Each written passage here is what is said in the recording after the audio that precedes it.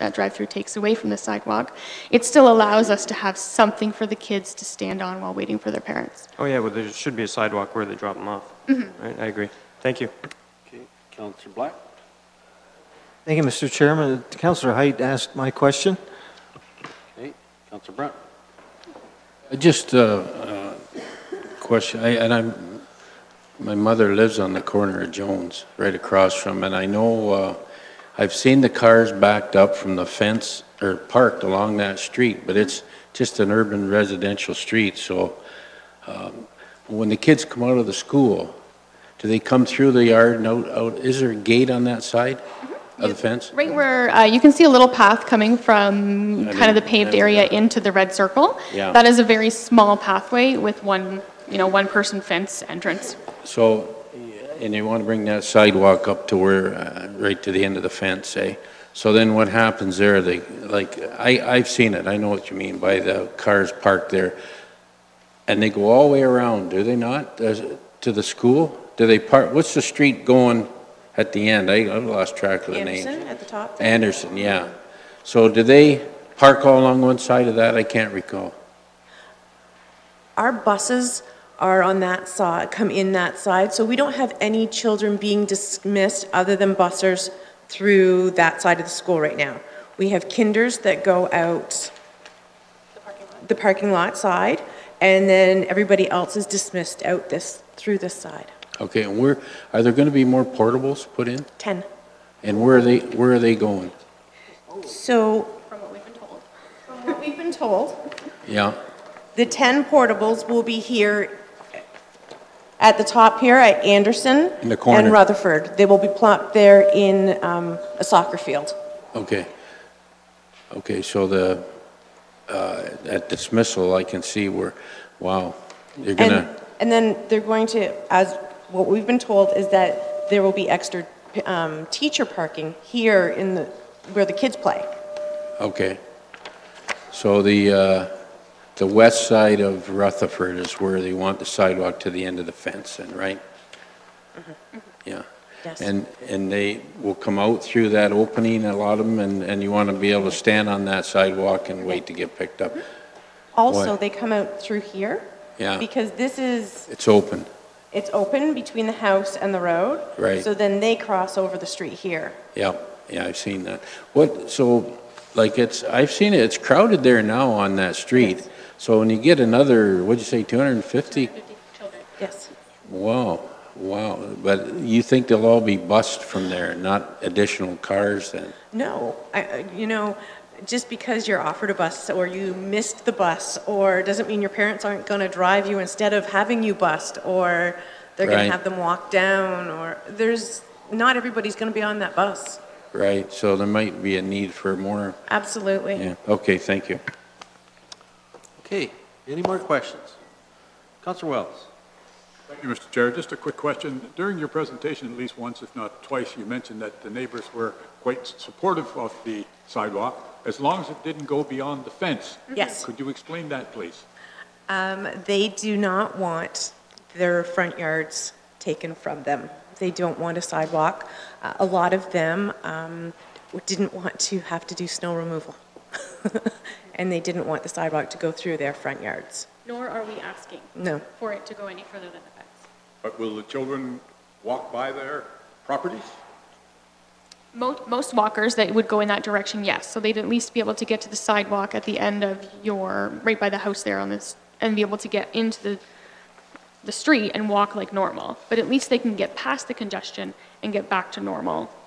So you're not quite as concerned about the safety once they get past the fence Well, as you are before they get to the fence? Um, there is, our yard goes all the way down. So kids who walk to that end, down to Man, quite often cut through the field. If they're going down to Man or over to the other side, there's playground, there's a soccer field, they go in through their backyards. There's, they're safe walking that way, and there's crossing guards on those sides of the streets. Thank you, Mr. Chair, and thank you for your Thanks. Okay, doesn't look like there's any more questions. I need a mover and a seconder to receive the deputation, Mayor Luke and Counselor Sonnenberg, that we receive the deputation of Vicky Trowbridge and Megan Allen regarding the Lynndale Heights uh, sidewalk issue. Those in favor? That is carried. Thank you. You may be seated, ladies. Thank you. And thank you for coming forward with this issue regarding children's safety. Yes, Counselor Black. Chairman Columbus, um, I I wonder, this seems to require a staff report, and I'm, it seems to be bigger than just a sidewalk. Lis- Listening, uh, you know, I was aware that there's going to be all this restructuring, but now, here's the implications of it. And um, th- this is a huge change in that area where there's already a problem with safety. So I'm wondering if we should ask staff to maybe get together with the Grand Erie Board and find out exactly what's happening and how we could work together to make that area as safe as possible. Maybe there's more to it than just the sidewalk, and at this moment, I'm thinking that there might be. So I- I'm suggesting that uh, we ask staff to communicate with Grand Erie and come back with a, a report of their findings and their uh, recommendations. I mean, the sidewalk would be one, of course, and then if there's anything else that would uh, improve that, that area uh, for the safety of the kids in the long term. So I don't know if, I, I would make that a motion, or if you'd receive it Okay, as such. I will accept it. I'm going to ask the deputy clerk to read it back, but I need a seconder. Counselor Sonnenberg seconds that, and uh, Deputy Clerk, if you could please read that motion back as best as you can. She's just fine tuning it here.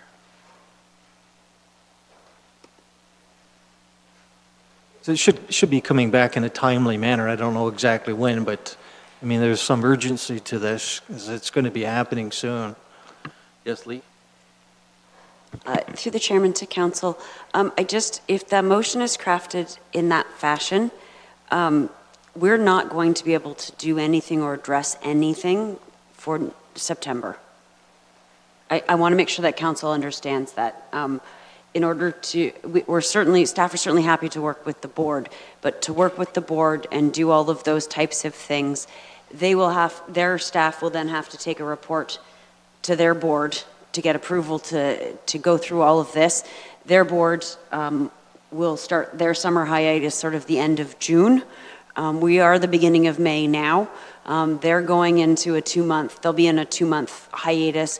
By the time that comes back, we have the very real possibility of being lame duck here, which wouldn't allow this council to do anything.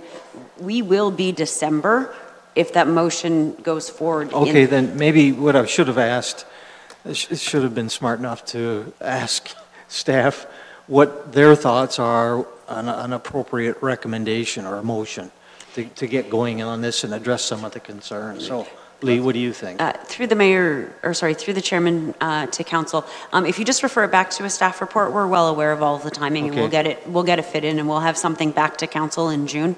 All right, um, then- so let's, that let's we make can it move that it way, forward. and I appreciate, appreciate Lee's comments on that. Okay, so you're withdrawing your motion? Well, uh, I'm not withdrawing, yeah, I'm withdrawing the one that's been written down, and then we're going to go with Lee's suggestion. Deputy Clerk's got something crafted. Uh, Through the chair, the motion would essentially be that staff be directed to prepare and present a report to council respecting the deputation in June of 2018. Okay? So that, that's, we need a mover and a seconder. Counselor Black moves that, Counselor Sonnenberg seconds it, okay? And uh, those in favor? Oh, discussion, sorry? Go ahead, Mayor Luke? Mr. Chair, I- I'm going to try to keep you on your toes tonight. Good. Uh, No, I just want to say that I certainly will support the motion, because without it, there will be no improvement there, whatever means.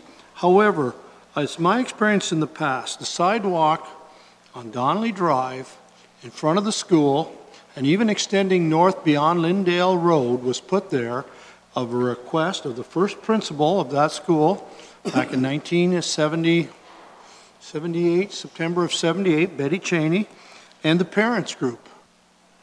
And other sidewalks we've been involved with have generally speaking been a request initially from students or parents groups.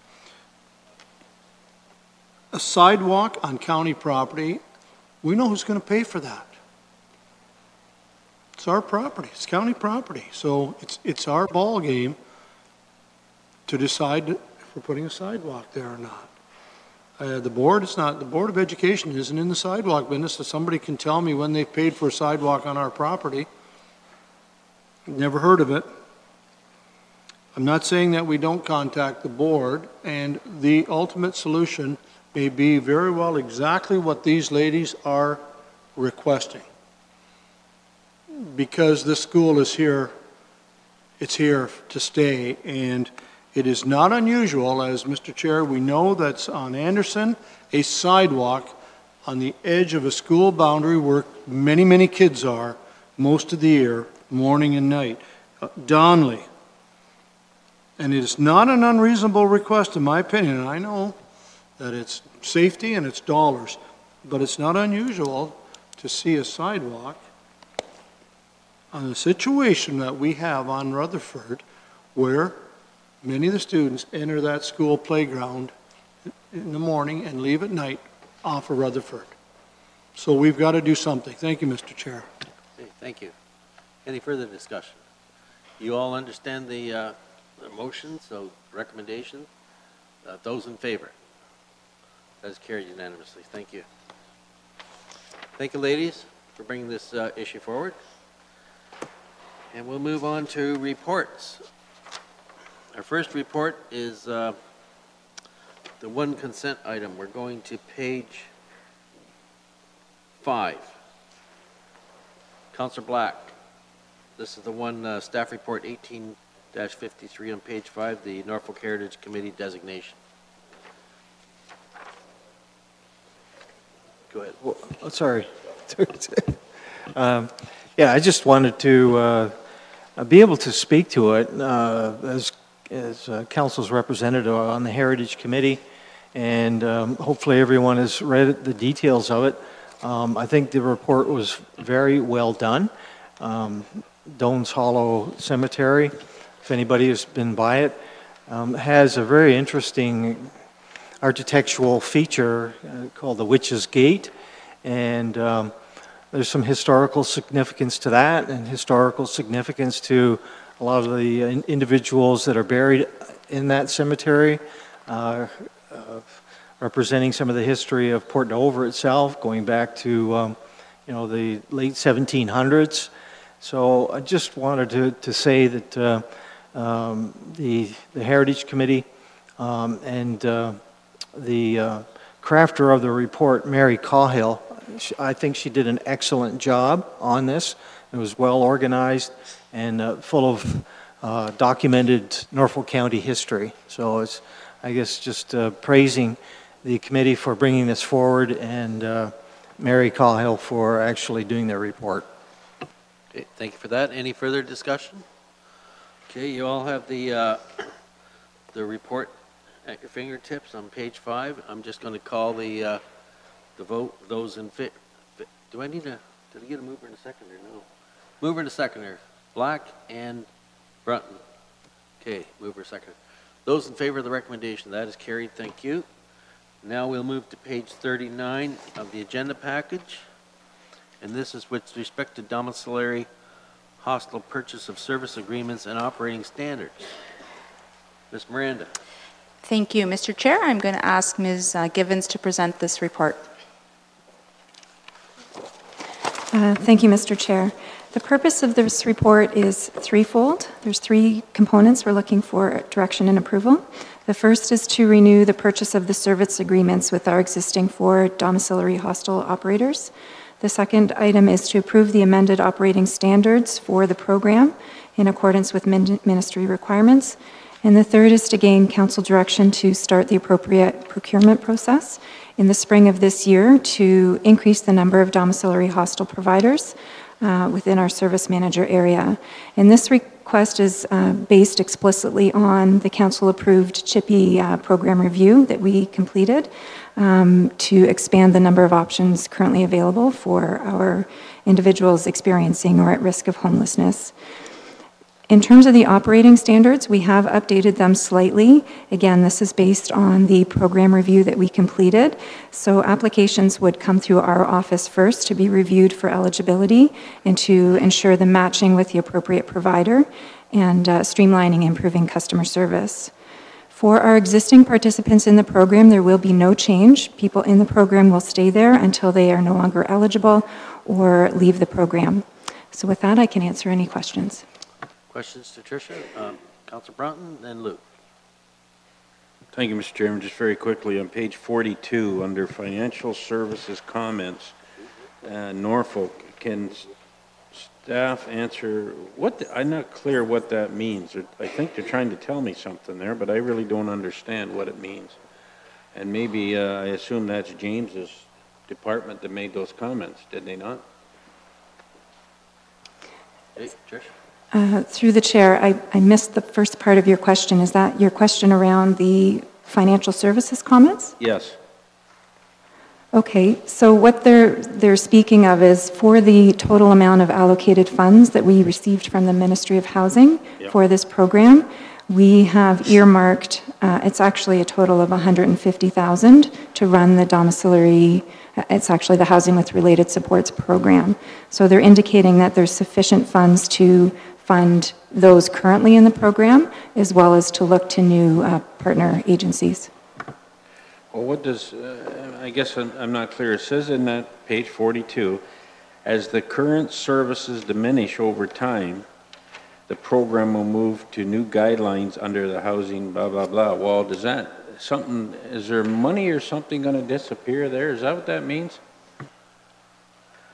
Through the chair. So what that means is for individuals in, currently in the program, receiving their, their subsidy, as they come out of the program, we will reallocate those funds so that somebody applying into the program can expand on their, so right now, there's four options. We want to expand the opportunity for folks to find other options more appropriate based on their needs.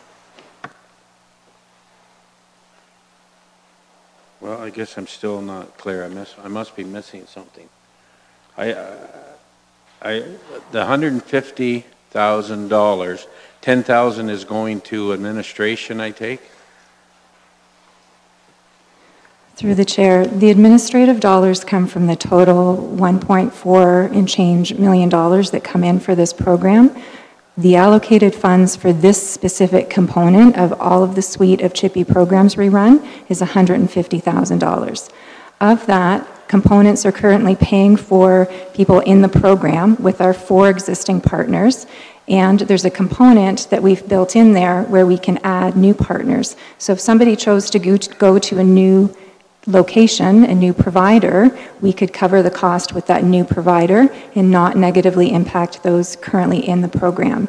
And as people come out of wherever they are, whether they pass away, move on, people could apply for that same spot, or they could look at other options that we would have on a list. Okay. Thank you. Okay. Mayor Luke. Thank you, Mr. Chair. Through to Trish. Trish, I'm just in reading page three, I had a question.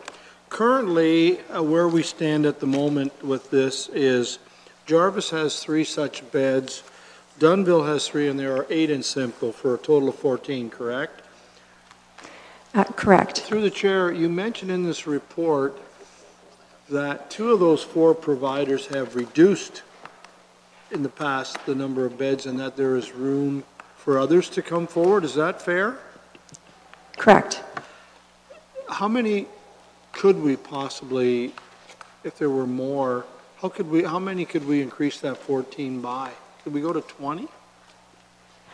Through the chair, that's what we will explore through the RFP process. So right now, in the way the domiciliary hostel program is, we pay up to $55 per day for individuals in the dom hostel program. Provincially, we actually pay more than mo- most other service manager areas. So we are going to explore other um, payment options with other, with other providers to try and get more bang for our buck, so to speak. So we are going to be exploring getting better efficiencies um, through this program. So, Mr. Chair, Trish, you have, uh, the money would be, will be in place here until the end of March 2019, and in that next year roughly, a little less than a year time frame, we have room to possibly create some more bed spaces. Yes, Optimistic? always, yes. Thank you. Very good. Anything further to, yes, Mr. Oliver? Thank you, Mr. Chairman. Just a a statistical question, Trish, and following up on the mayor's comment on page three where it talks about the 14 beds in those service providers, and yet page two makes reference to 18 individuals providing uh, or, or being served per month. Is, is there a discrepancy, or is, how do you get 18 people in 14 beds? Through the chair, um, it could be a statistical because we have had some people move out of the program while this report was being done. All right, thank you. Okay. Anything further? No, okay, I need a mover and a seconder for the recommendation. Wells and Oliver. Movers and seconders, Counselor Wells, Counselor Oliver seconds. The recommendation is printed in five paragraphs on page 39 of the agenda package. And does everybody understand the uh, recommendation? I'm going to call the vote. Those in favor? That's carried unanimously. Thank you. We'll now move to uh, page 57 of the agenda. And this is a report with respect to child care fee stabilization support funding. Ms. Miranda? Thank you, Mr. Chair. I'll be re- um, reporting on this particular report um, for Ms. Van Dyke um, and Children's Services. So the purpose of this report is to accept 100% funding from the Ministry of Education for fee stabilization in licensed childcare. This i- this is part of the provincial strategy to expand access to licensed childcare across the province through the creation of new licensed childcare spaces and also improving accessibility and affordability. More specifically, the funding is to support licensed childcare centers who are contemplating fee increases to parents in order to support their operations due to the change in minimum wage and the impact um, of that on the early childhood educators who work within the licensed childcare system. Children's Services staff work closely with our licensed childcare centers to ensure that their centers remain financially viable um, and that the fees are affordable for families. With the approval of this report, staff will work with the centers to identify where funds are needed and to allocate the funds. If all of the funds are not needed, staff will then return the funding to the Ministry of Education. And with that, I'd be happy to answer any questions. Questions for Ms. Miranda? Mayor Luke? Well, I've read the report, and I will certainly move the recommendation. Okay. Seconder? Wells? Okay. Okay. Will read it. Uh, The recommendation is moved by Mayor Luke, seconded by Council Wells, that staff report HSS 18-18, Child Care Stabilization Support Funding be received as information, and that council accept the child care fee stabilization support funding from the Ministry of Education in the amount of $150,906, and further that the approved 2018 levy-supported operating budget be amended to include $150,906 to be used for child care fee stabilization support with funding to be provided 100% from the Ministry of Education. Any questions? Those in favor? That's carried. Thank you. And now we'll move to page 65.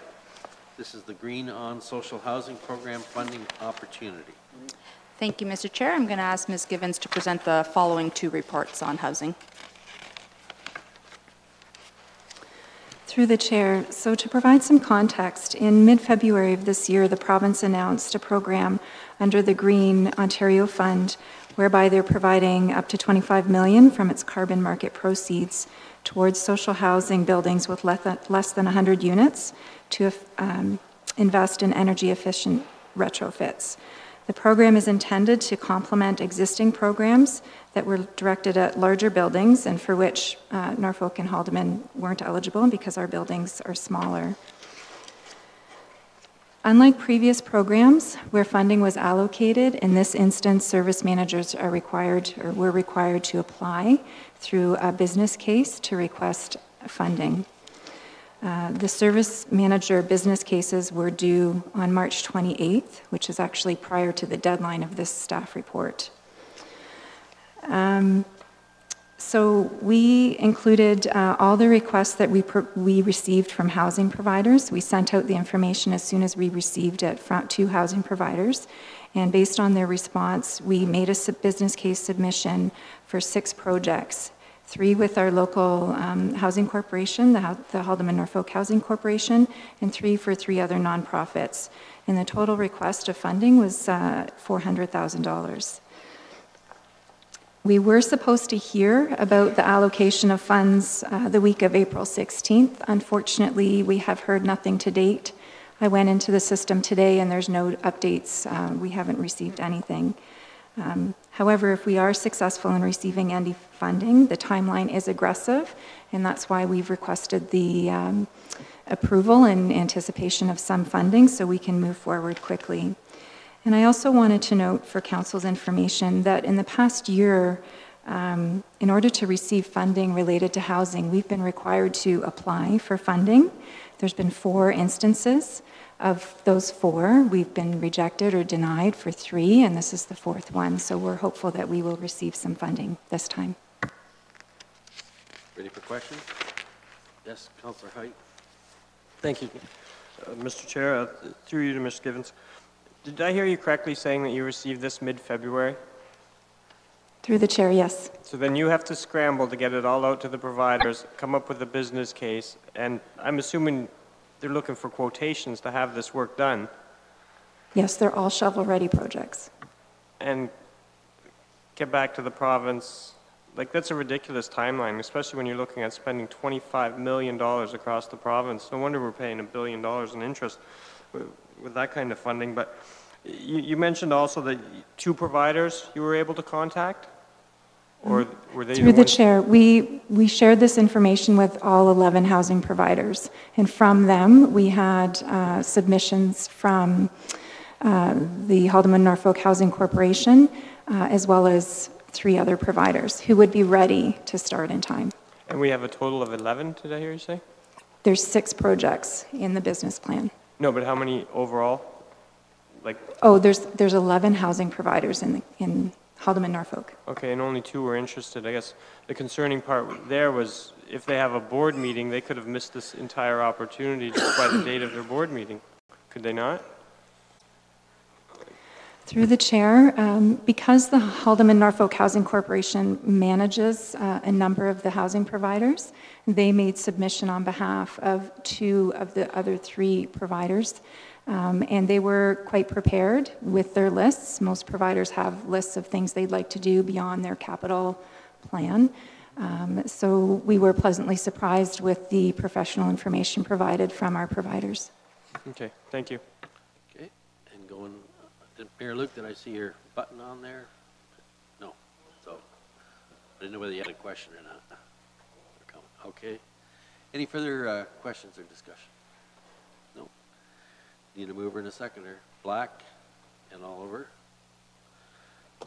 Counselor Black moves, Counselor Oliver seconds that the recommendation that staff report HSS 18-19 Green Ontario Social, Social Housing Program funding opportunity be received as information, and that pending the results of the Green Ontario Social, Social Housing Program, if all requested funds are awarded to the Haldimand Norfolk Consolidated Municipal Service Manager, each project included in the business case as submitted to the Housing Services Corporation received the requested amount.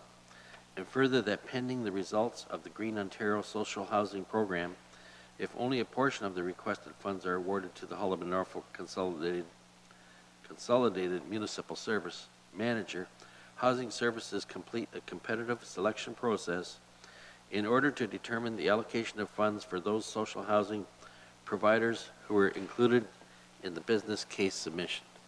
There's no further discussion, those in favor, that is carried. Thank you. And now we'll move to the next item. And that is portable housing benefit, special priority program update on page 69. That's you, Tricia? Yep, thank you, Mr. Chair. We've been busy. Um, So to provide some context in relation to this report, Council may recall that uh, two years ago, Haldimand Norfolk Housing Services started uh, participating in the two-year pilot project for the Survivors of Domestic Violence Portable Housing Benefit Program. And in that time frame, um, while over two years has passed, and based on a provincial evaluation, the Ministry of Housing has decided to roll out that pro- program province-wide and, and roll it up. So what that means is they're proposing that the program be run province-wide in order that participants in the program have a truly portable housing benefit. They could move anywhere in the province. How the process is supposed to work is people would still apply through each service manager office. Um, we would review it, deem it eligible, and then forward it along to the Minister of, How- um, Minister of Finance to approve it and issue the funding. The intention is that uh, survivors of domestic violence and uh, survivors of human trafficking would qualify for this portable housing benefit, and it would be used against uh, market rent. So somebody living somewhere with market rent could use this to make rent more affordable. And they would also be required to come off our central wait list as a special priority, thereby allowing other folks on the central wait list to move up quicker. Um, the province wasn't on time. It was supposed to roll out April 1st, so this report is for us to accept funding to run the program on their behalf for another quarter in hopes that it rolls out on July 1st, and also to address the administrative funding that they're offering us, which is $250 per approved application. And I can answer any questions if needed. Questions? Ms. Gibbons? See any? Mover and a seconder. Geysens and Haydt. Counselor Geysens moves and Counselor Haydt seconds. There's a a lengthy recommendation there. How be I not read it? I think it's about six paragraphs. You've all got it in front of you. I see some thumbs up, so that must be it's okay. Uh, Those in favor? That is carried. Thank you.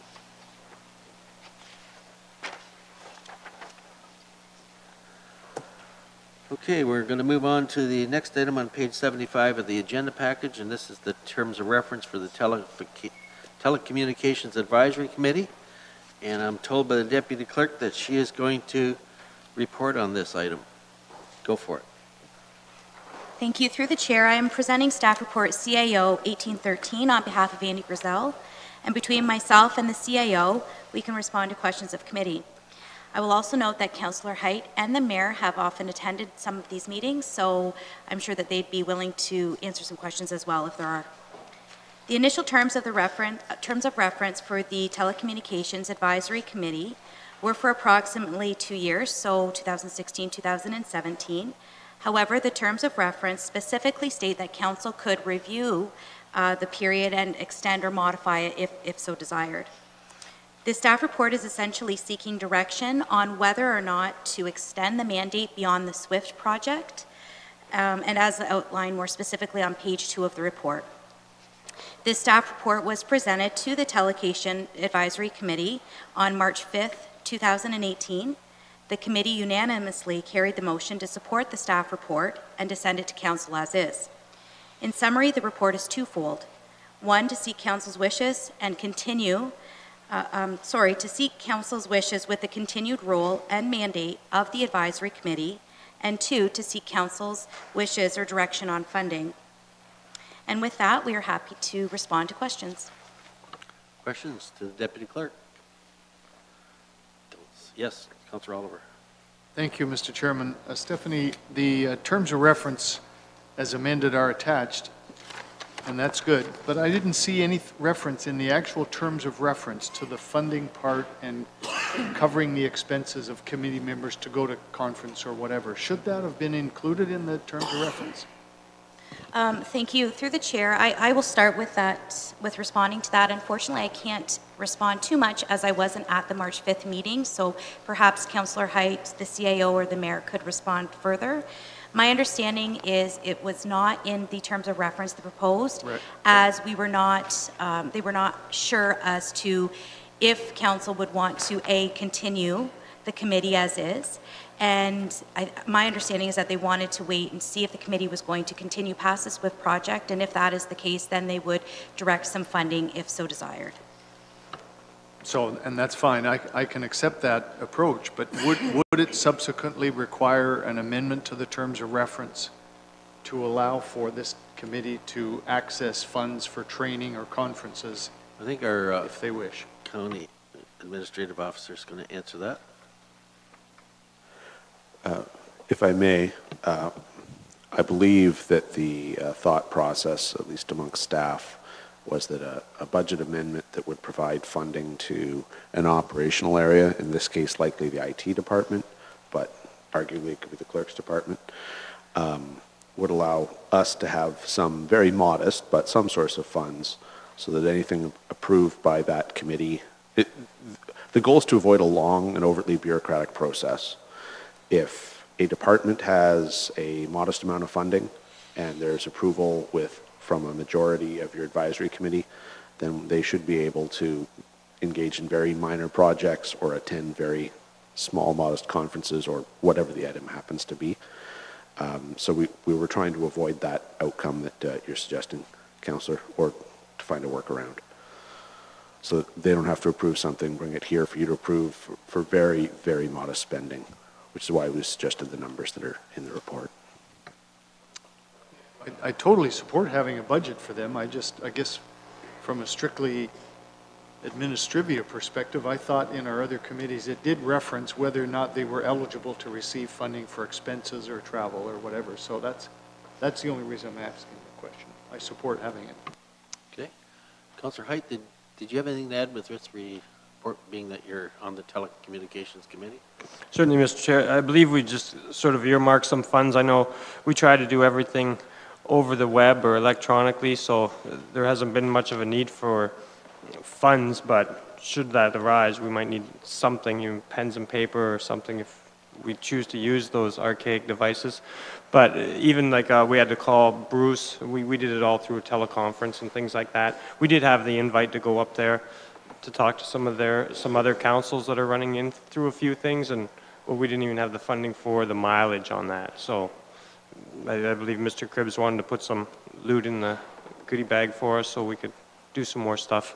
You know, one of the biggest drawbacks with this committee is that SWIFT is anything but SWIFT. And that's really what's holding us up, or we'd be, you know, full steam ahead right now. I'm really hoping that we get a lot, a lot of that funding back that we put in for our fiber optic project, and from there, we could definitely roll out a lot more fiber throughout Norfolk. I was really happy to see ExecuLink took their own initiative with the money that we gave them and expanded down through Bill's Corners and Walsh and over to Port Dover. I think that, that was a really big push for Norfolk County to get a lot of fiber done, most economical way. Thank you, Mr. Chair. Further, Mayor Luke? Mr. Chair, thank you, and certainly one of the meetings I attended, uh, this very discussion went on for some time as to the future of this group, and uh, Councilor Haydt is quite right. Um, SWIFT is, uh, is coming, but it's, it's, it's slowly coming, and that shouldn't surprise anyone. Uh, We knew from the onset that it would be a five-year uh, project uh, get uh, things where we start to see the, uh, the end result. Um, I think it's fair to say, and I'll, and I'll ask uh, perhaps through the chair, if I may, the county manager, that basically, this is put before us to decide whether we value from here on in uh, this committee. It's extremely um, competent, extremely uh, high-skilled, technical people here that are on it and very passionate to see the outcome of high-speed fiber internet throughout this entire county, no question. So I, I think it's fair to say, if I can ask the county manager, Mr. Chair, that if we want to see the continuation of this committee into the future, that we should be putting some funds in. And I don't say that they're gonna, they're putting this up and holding it over our heads, but I think it's a fair statement that they feel they can be much more uh, serving of the county and be much more effective with a little bit of a budget to do certain things. Is that a fair statement? Thank you, Mr. County Manager, or, sorry, Mr. CAO. That would be a fair statement. It's also, it would be appropriate to point out that this was a suggestion brought forth by staff as opposed to by the committee members itself. Um, There've been two instances. Uh, Firstly, there, there was an idea ban- bandied about the, the group as to whether or not we ought to sort of create some signage in some of our county-owned facilities that do allow for wireless. And with zero dollars, I mean, the thought was, well, we could repurpose uh, Parks and Rec funding. But you know what? That Parks and Rec funding is approved by council to perform specific tasks that are approved ultimately by the community, so that's not really appropriate either. So there have been two instances in the last year where having at least a few dollars would have made a real difference to some of the things that committee would like to do. Um, But uh, yes, in essence, uh, your decision today is whether or not you wish to continue on with the Technology Advisory Committee. As the report indicates, we can't point to many others in the province of Ontario, but we can also tell you, you have a dedicated group of people who have some skill and knowledge in an area that's not universally shared. And uh, for a pittance that may or may not be accessed, uh, we can continue to draw on their services. Yes, Mayor Luke? Would you like me to try a motion and then we can, I may not have any support and we can move from there? Okay. Do you have other Luke, I was looking at the recommendation that's printed on page uh, 75. Yeah, And, and that last paragraph is kind of awkward in there. Well, I was going to put something in there, Mr. Chair. Okay, were you? Okay, I, w- I Well, will, uh, Mr. Chair, uh, this is my rationale, um, that I believe we should at least put in the $5,000 to the end of 2018, and then we have a budget process for 2019 for whatever number. But I, I would move the recommendation on page 75 in that the third um, statement say further that council provide funding of $5,000 to support this committee to the end of 2018. And that's Okay. a start. that's your, we'll that's see where it your uh, goes. recommendation. I need a seconder for that. Counselor Haydt seconds that. Now we'll open the floor for discussion. Counselor Wells? Well, could I uh, ask the mayor where he thinks this $5,000 would be needed in uh, the next four months? Because you're only talking to the end of 2018, am I correct? Or did I misunderstand your motion? The, the motion was through the chair to Councillor Wells to the end of 2018, which is approximately seven months, it's just around half a year. Uh, You're asking what it's for.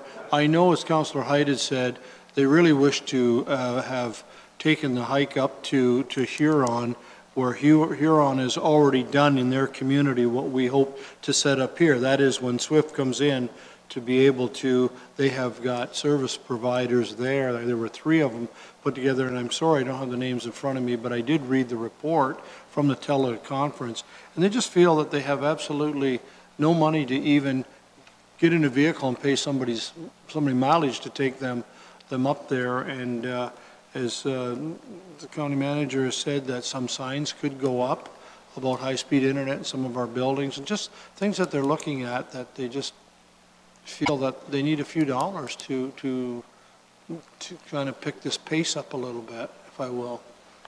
Okay. Thank you. Okay, any other discussion? Uh, I'm going to get the uh, deputy clerk to, to read it as was presented by Mayor Luke. Through the chair, it's been moved by Councilor Mayor Luke and seconded by Councilor Haydt that report CAO 1813 be received as information and that council approve the revised terms of reference for the Telecommunications Advisory Committee and further that council provide funding of $5,000 to support the Telecommunications Advisory Committee to the end of 2018. Uh, Sit well with you, Mayor Luke? Yep, okay. Okay, any further discussion? Those in favor? That is carried unanimously. Thank you. Yes? Question, while we're on this. I see that, uh, reading the news media, that we are getting uh, maybe some advancement in telecommunications in Port Dover. Uh, Did this committee have anything to do with that? This is with respect to the Execulink expansion into Port Dover? Um, Who can, can Brent, Brent, can you answer that, please?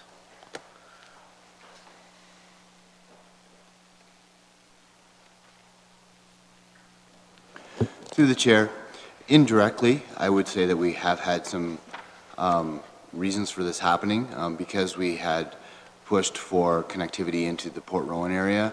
Uh, that provide them to provide additional expansion in further down into um, different areas, and, and Port Dover was one of their always been one of the areas they wanted to get into. So indirectly, we have had some dealings with getting them into that area. So yes, ultimately yes.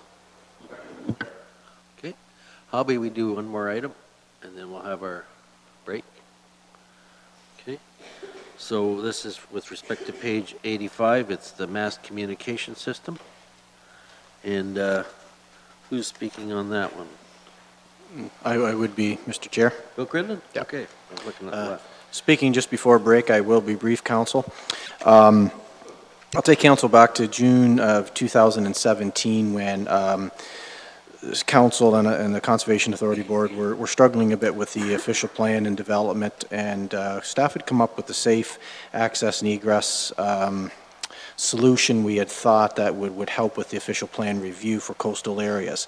However, as council knows, the um, province did not endorse the implementation of a mass communication system. However, staff had already set the wheels in motion for the RFP. Um, Two things become very apparent as we went through the RFP process. The first was um, a mass communication system can, could do a lot, a lot of good for Norfolk, both internal communication and external wise. And it also came clear that we would need additional staff to properly utilize a system. Um, If, if I go to page two and three of the report, basically talk about the RFP process. Um, Everbridge Incorporated was the uh, successful candidate. And if you go to page four, you'll see it was a three-year deal. You'll see the prices for each year. Um, If I bring your attention to mid, mid-page, um, uh, page four, uh, staff also in the fall of 2017, emergency management staff that is, made application to the National Disaster uh, Mitigation Program for funds, which we'd hope would offset a mass communication system. As of uh, 2:55 today, I did finally get an email back that in principle, Norfolk County was approved for upwards of $30,000 for this project. Time of the writing report, we didn't know how much money or um, if we were going to, to be, um, be approved. Uh, I still, obviously, it still has to be signed, we still have some information to go back and forth, so obviously, we wouldn't get the $30,000, we only need $25,000 for the first year, so that would be downgraded, and I'm not sure of the details of, of where they, else they may limit us. With that said, uh, senior staff, and there were staff from uh, all divisions had, had worked on this RFP, are recommending that Norfolk County Council not go ahead with the, um, with the approval of the RFP, and it's simply based on, to utilize this to its fullest, we, we do need uh, additional staff. The staff would be needed to, um, first of all, there's a lot of front-end training and loading of information into the system, and then also, once it's loaded up, up and running, uh, there is maintenance for years to come. As people come, uh, leave the area, come back in the area, the names have to be changed. So um, with that, I will turn it over to County Council for any questions they may have. Questions from committee? Councillor Haydt? Thank you, Mr. Chair. Through you to Mr. Cridlin. It says here in your first paragraph that the province did not endorse the implementation of a mass communication system as potential resolution for development concerns in coastal areas. This was to address the access and egress, as you know. And yet the province is saying it's still, still not good enough for them. How did they address that? Through through the Chair to Councilor Haydt, if I can, I may um, um, pass this one over to Mr. Baird from, from the planning aspect.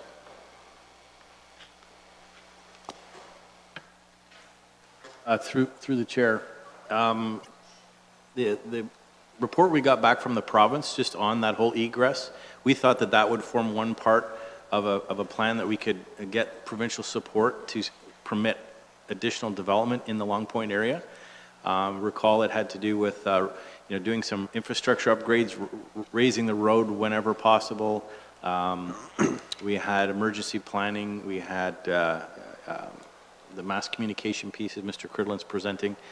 All of that, the hope was that the province could be convinced to support um, uh, this council's wishes and also the conservation authorities. Uh, When we did hear back from the province, they said no, that, that, that, that they could not endorse that. So it kind of left this mass communication tool kind of in limbo. And I think uh, through the, the RFP process and the review afterwards, um, it was determined, you know, if, if, if we're not going to get the full benefit from it, and I, I don't want to get too far ahead of Mr. Cridlin's uh, presentation, but there are other tools now that have become available through um, Bell and, and other major carriers that will do emergency alerts, that sort of thing too. I'm not sure if you've heard of that lately.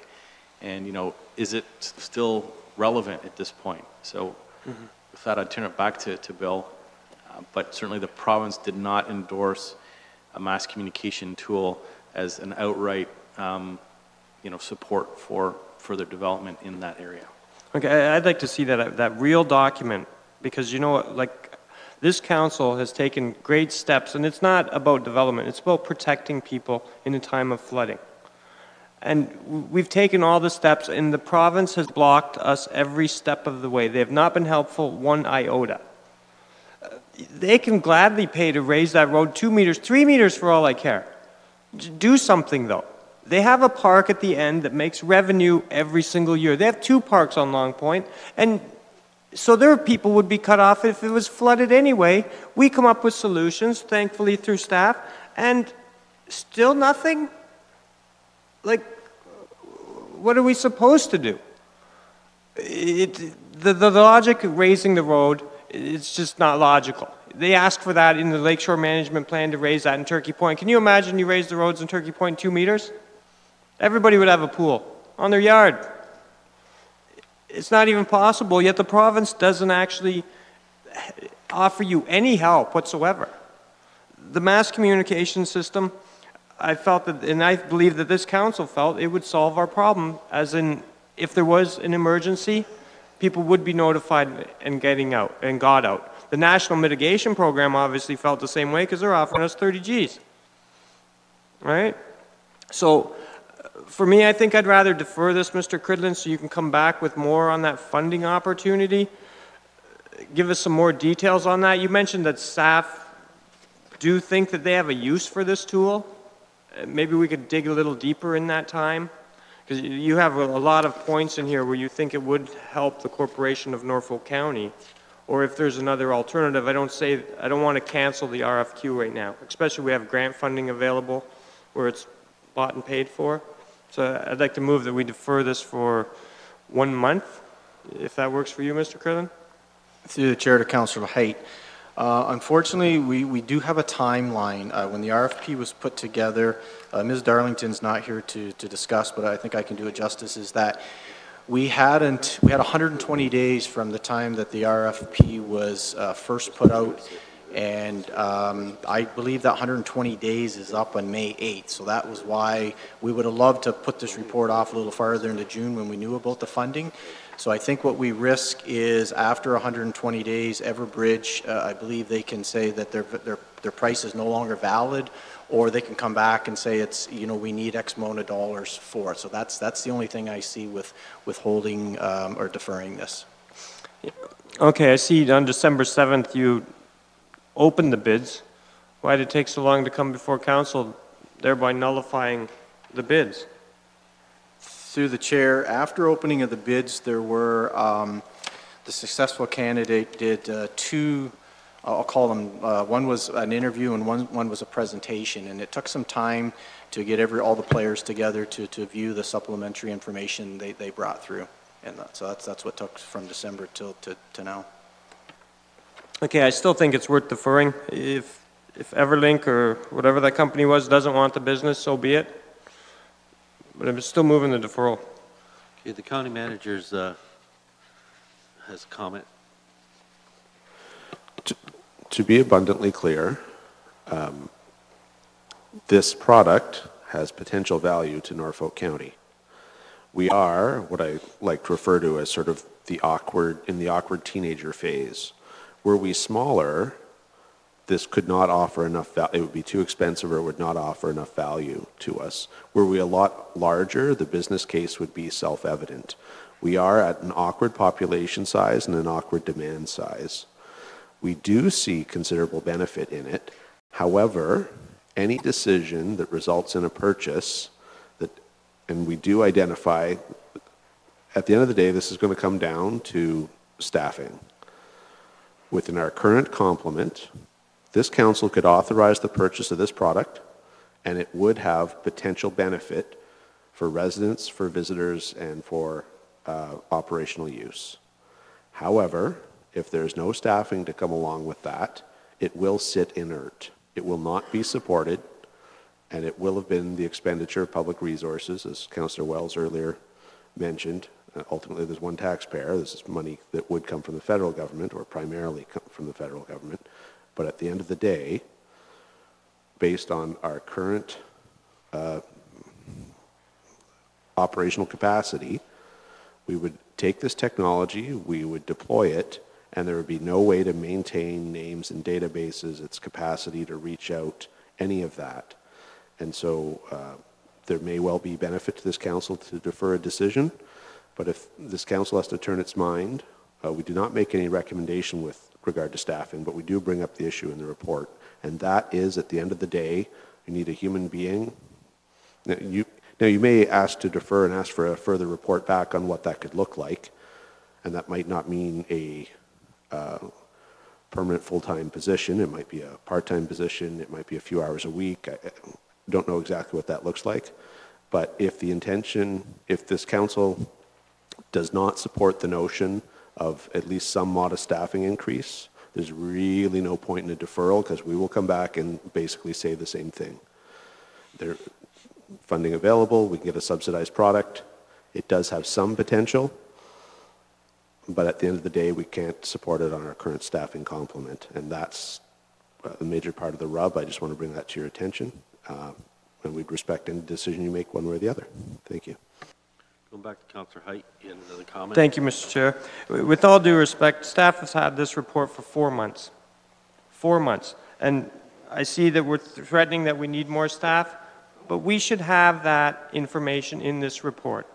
There, there should be how much will it cost? We went through the process of an RFQ. We went through the process of a grant application, right? We've completed them both. And then in here, somewhere there's a little sknibble, we may require staff resources. How much is it?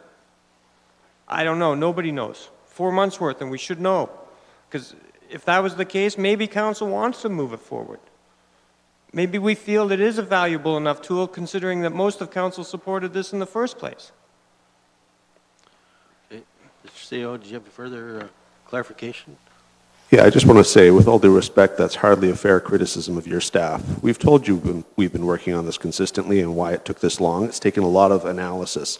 But what this council approved was spending money on a piece of technology. And were we to bring a report back to you that said, oh, we can buy the technology and haha, we need a staff member, you'd have had a lot of grounds to be extremely angry with us and extremely disappointed. That's the Trojan horse way of pushing forward for new staffing. We did not do this. This is the intellectually honest and reasonable approach to provide you with information. We identify the issue inside. We make no recommendations. You're entirely justified in asking for more information on staffing, in saying, no, we reject that entirely, in going another way. But it would be completely inappropriate for us to get your approval to simply purchase some technology and come back and say, here's the technology, now we need a whole staff member, and to go forward like that. You need to be able to trust and rely on our honesty to give you the best advice we can, and to not attempt to constantly empire build and expand the size of the civil service. You have, an oppor- you have a number of policy choices here. We can go with the system, we can not go with the system, we can look at going with the system in a modest way. But we have provided you with something that was straightforward and supported. And we've provided information about what staffing might, or, or at least identified the staffing issue. If you'd like a further report that examines that, we'd be very happy to do that. But we didn't feel we had a mandate to grow that, and so we most certainly did not. Saw a couple hands up. Councillor Oliver. Yeah, thanks very much, Mr. Chairman. I was supporting what Councillor Haydt was saying at first when he was just expressing his frustration about the ministry's rejection of our uh, plan that we put together last summer, but I, I don't share his sniping at staff regarding timing, et cetera. I think this report is entirely appropriate, that it's coming forward to us the way it is. I do, however, uh, support what Councillor Haydt was saying relative to that report that came and that plan that came to council last June. And eventually, several months later, we got a letter from MNR saying, no, we don't like it. Um, that was our plan, and as far as I'm concerned, it remains our plan and, and can, in fact, remain our emergency response plan relative to Port, or I should say Turkey Point and Long Point. I don't think we should allow the ministry going forward to do what they did to us last summer or fall, where they simply say, we reject it, and, and don't give us, as my colleague says, don't give us any other alternatives. So I certainly support the recommendation that's in this report. However, having done so, assuming we pass this, it would be my hope that if not our council, then the new council, as soon as it's in place, bring back that emergency plan that was produced. We spent